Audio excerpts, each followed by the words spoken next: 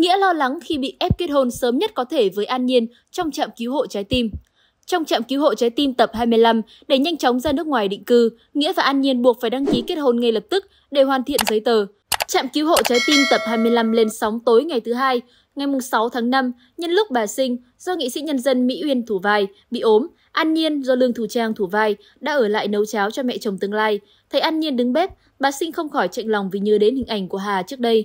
Tuy nhiên, sự lanh lợi và tình cảm của cháu nội khiến bà sinh được xoa dịu phần nào. Cũng qua bé Gôn, bà sinh nhận biết ý định sang Canada định cư của Nghĩa với An Nhiên.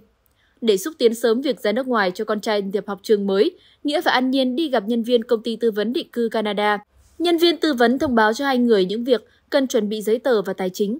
Trong đó, yêu cầu quan trọng là Nghĩa và An Nhiên phải có giấy đăng ký kết hôn. Vì vậy, nếu định cư theo diện gia đình, phải hoàn thiện sớm thủ tục kết hôn. Nghe đến đây, Nghĩa có vẻ lo lắng.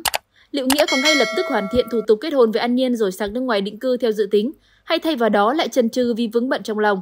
Hãy theo dõi những tập tiếp theo của bộ phim Trạm cứu hộ trái tim để biết số phận của các nhân vật.